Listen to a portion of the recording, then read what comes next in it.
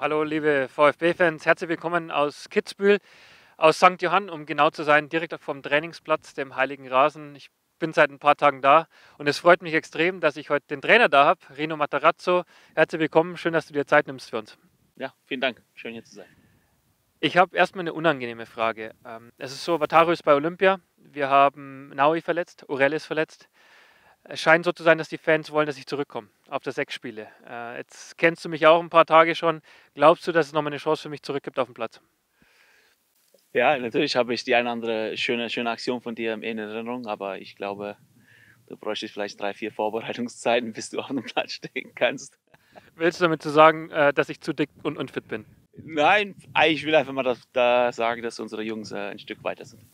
Okay, sehr diplomatisch, äh, so wie dich kennen. Äh, vielen Dank. Aber jetzt mal ernsthaft. Ich meine, wir zwei fast gleich alt.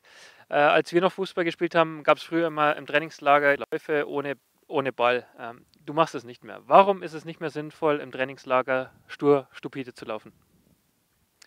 Also wir machen schon ab und zu äh, Läufe ohne, ohne Ball, aber das sind kontrollierte Läufe, zum, zum Beispiel nach dem Spiel, nach dem Testspiel, wo es dann äh, weniger Risiko sein soll, dass man sich verletzt. Aber grundsätzlich bin ich ein ein großer Fan davon, äh, sehr ganzheitlich zu trainieren, äh, vielen Spielformen, dass man nicht nur athletische Grundlagen äh, legen kann, sondern auch taktisch arbeiten kann, technisch arbeiten kann und auch irgendwas für den Kopf.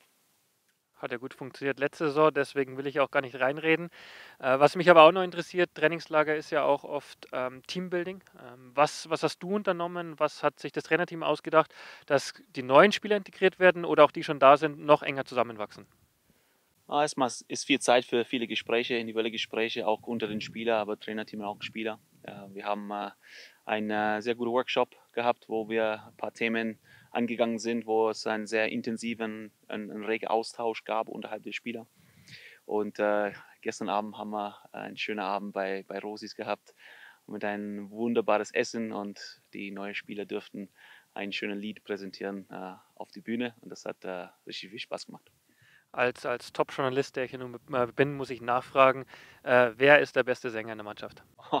das ist eine gute Frage. Ähm, unser Torwarttrainer ist tatsächlich gar nicht so schlecht gewesen, äh, Steffen Krebs.